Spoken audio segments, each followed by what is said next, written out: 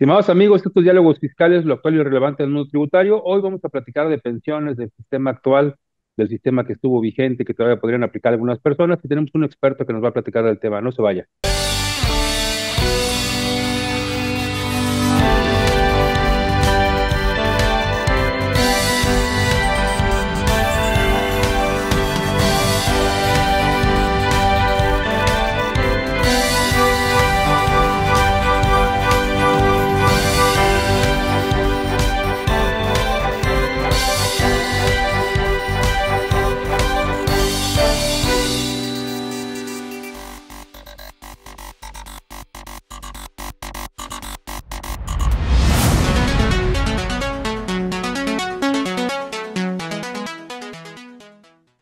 Bien, pues como comentamos en la introducción de este programa, hoy vamos a platicar de pensiones, vamos a platicar de las posibilidades que tenemos en México de acceder a este beneficio y tenemos un experto que nos va a platicar de este tema, el maestro Miguel Ángel Silva Pedrosa, a quien le agradezco mucho que esté con nosotros, maestro.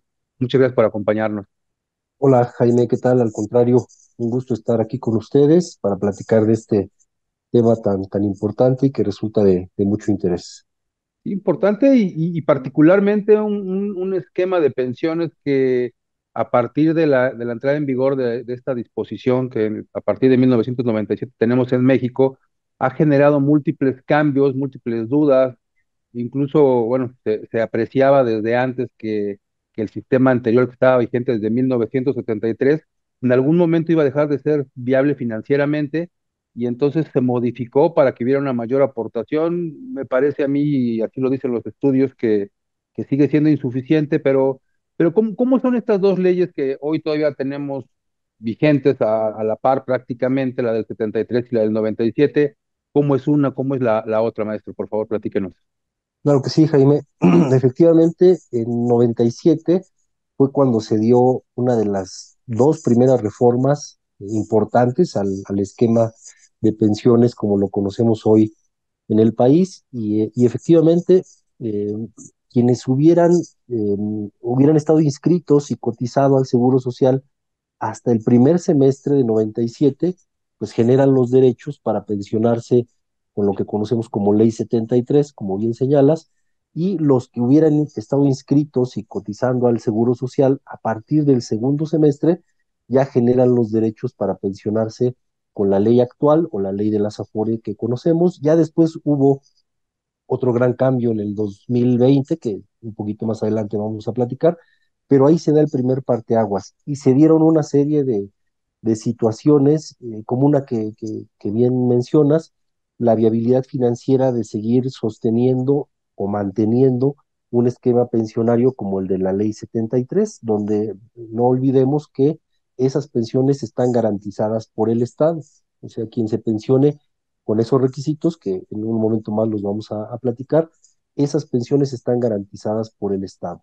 Entonces, se dieron una serie de situaciones, un cambio demográfico importante, que ya para aquellas fechas, para los noventas, ya se habían acumulado un par de décadas, más o menos, en donde la tasa de, de nacimientos, la tasa de natalidad, traducida en un bono demográfico en proporción o en relación con el envejecimiento natural y normal de, cualquier persona, ya no estaba correspondido. Entonces, la población seguía envejeciendo, había personas que generaban el derecho para pensionarse, pero no así los nacimientos y por lo tanto la incorporación de, de personas a un esquema contributivo de pensiones, es decir, generar un ingreso, tener una relación laboral con un patrón, pagar impuestos a la hacienda pública, tener un esquema contributivo, repito, de seguridad social donde aporten Estado, patrones, trabajadores. Entonces se combinaban principalmente estos elementos, entonces surgió esa necesidad de hacer un cambio radical en el 97 con estos dos eh, parteaguas de primero y segundo semestre y cambiaron también los requisitos para pensionarse. Entonces, claro. Eh, bajo la ley del 73, lo, quienes cotizaron, como mencionaba, hasta el primer semestre y se inscribieron, son cuatro requisitos principalmente. Uno, que hayan tenido 500 semanas de cotización al Seguro Social, 500 semanas reconocidas ante el instituto, em, eh, tener eh, un promedio o promediar los últimos cinco años de, de, su histórico laboral, de su histórico salarial, perdón, eh, tener una baja ante el instituto y estar en conservación de derechos. Teniendo esos cuatro requisitos ya pueden pensionarse, perdón, y el de la edad, se me olvidaba mencionarlo, eh, 60 años hasta los 64 para pensionarse por cesantía y vejez a partir de los 65 años. ¿no? Entonces, eh, requisitos uh -huh. que se podían alcanzar, 500 semanas son 10 años aproximadamente. Y menos Entonces, incluso, ¿no? Un poquito menos. Entonces, sí, y... eran objetivos muy alcanzables, sí. Claro, y, y entiendo, según el planteamiento, era una especie de pirámide, ¿no? Eran pocas personas pensionadas y una base muy, muy ancha, muy amplia para, para mantener esa pensión. Así es. Pero ha, ha, cambiado el esquema, la gente vive más, digo, fuera de los acontecimientos de la famosa pandemia, la gente vive más. Sí. Y, y, además de que vive más, hay menos nacimientos, que también es otra, otra cuestión importante que, que se avala en los estudios. Así y es. el Estado no, no, no, no terminaría con, con la capacidad financiera para mantener todo esto.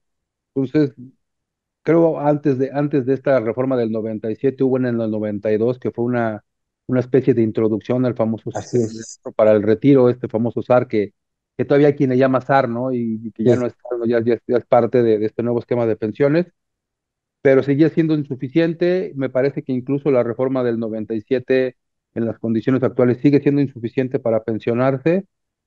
Y está la reforma del 2020, ¿no? También que se aumenta sí. y sigue siendo insuficiente, me parece a mí, para, para que una persona viva dignamente después de retirarse. Así es, e ese es el gran reto ¿eh? para el tema de las, las pensiones. Eh, ¿Con cuánto ingreso la persona podrá hacer frente a los gastos pues, mínimos indispensables para, para subsistir, ¿no? Hacer frente a pago de servicios, acceso a servicios de salud, que eso en uno y otro esquema ya están eh, están garantizados. Una persona que se pensiona por uno y otro régimen tienen acceso a servicios de salud en el, en el Seguro Social. Pero sí, efectivamente, el, el, el, gran reto es ese. Eh, ya un poquito más adelante hablaremos de la, la tasa de reemplazo. Entonces, eh, coincido, coincido en parte que no han sido del todo suficientes las, las reformas. La del 97, desde mi punto de vista, fue un gran respiro, un gran tanque de oxígeno, sobre todo para las, las finanzas públicas, y de tener esa tendencia que de no haberlo hecho, se habría creado un pasivo bastante importante para el Estado y garantizar pensiones para personas que efectivamente, como bien lo, lo señalas, ya viven más. Entonces, anteriormente, quienes se pensionaban allá por los 80, 90, a lo mejor el Estado generaba un pasivo por 5 o 10 años y nada más. Y ahora no. Ahora el pasivo, como las, las personas tendemos a vivir más, pues se, se, generan por 10, 15, 20, 30 años o a lo mejor un poquito más. Es insuficiente.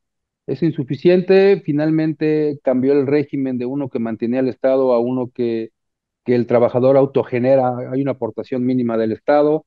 El patrón y el trabajador hacen la aportación más importante pero hoy convivimos con dos posibilidades para las personas que, que estuvieron trabajando antes del primer semestre de, del 97, se pueden pensionar así y sigue siendo a cargo del Estado y sigue siendo una pensión que va a ser cara para el Estado.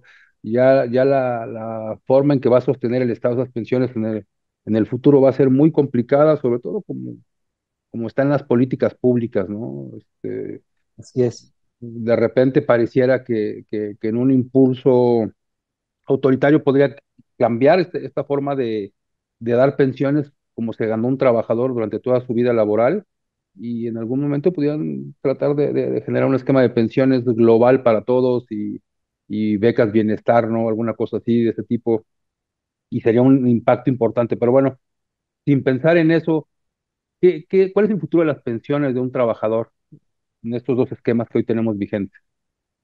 Correcto. En el caso de los que cotizaron en la ley del 73, no deben perder de vista dos elementos fundamentales, el número de semanas de cotización y su histórico salarial, perdón, sobre todo de los últimos cinco años, que eso servirá como base para el cálculo de la pensión. Esos dos indicadores son fundamentales para que tenga acceso a una, una pensión más, más atractiva. Y en el caso de 97, cuando se dio aquel, aquel gran parteaguas, Eh, si bien es cierto, las semanas de cotización son importantes para acceder a una mejor pensión mínima garantizada, que eso se modificó apenas ahora en, en 2020, ahora se traduce en ahorro porque se pasó de un, esquema de beneficio definido a un esquema individualizado. Entonces, ahora los trabajadores son los principales responsables para el financiamiento de su pensión una vez que se cumplan los requisitos, que los, los comento, mencioné los de 73, los de 97, nada más lo doy como referencia,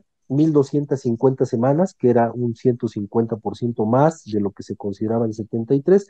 Eso se modificó ahora en, en 2020, pero en 97 eran 1.250.